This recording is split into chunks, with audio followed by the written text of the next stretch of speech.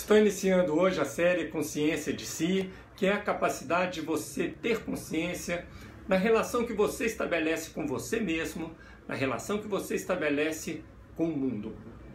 Trata-se da capacidade de identificar seus próprios defeitos, limitações, dificuldades, incapacidades, como também suas próprias qualidades, pontos positivos, competências, habilidades e, enfim, consciência de si mesmo é a capacidade de você exercitar dia após dia a percepção sobre quem você é e, principalmente, como você quer ser visto pelas pessoas que te rodeiam. Quem você quer ser? Qual é o seu legado? Como você gostaria de ser lembrado? O que realmente você quer deixar para as gerações futuras?